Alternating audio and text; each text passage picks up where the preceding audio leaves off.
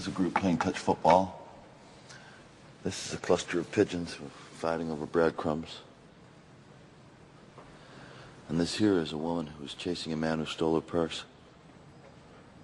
John, you watched a mugging. That's weird. In competitive behavior, someone always loses. Well, my niece knows that, John, and she's about this high.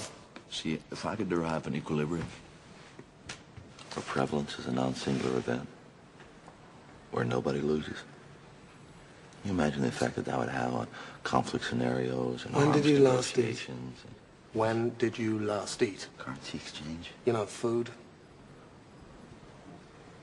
You have no respect for cognitive reverie, you know that? Yes. But pizza. Now, pizza I have enormous respect for. And of course, beer.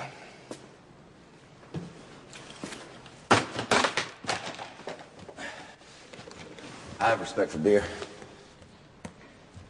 I have respect for beer.